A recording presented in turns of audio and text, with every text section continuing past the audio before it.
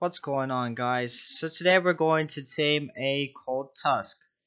It is in Braca Forest. We're going to use the Shiverwood camp and you're just gonna follow the road from Shimmerwood camp. You'll take a left from the shrine.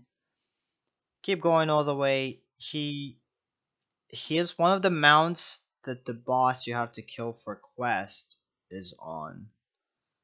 So it's kind of hard to know that he's a mount just because a lot of things you kill that are on top of mounts, the mounts themselves are not tameable, but not in this case.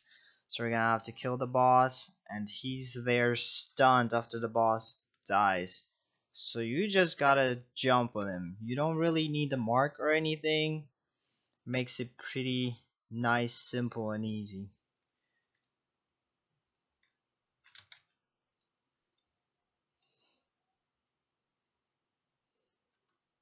And that's it. It's super easy to tame.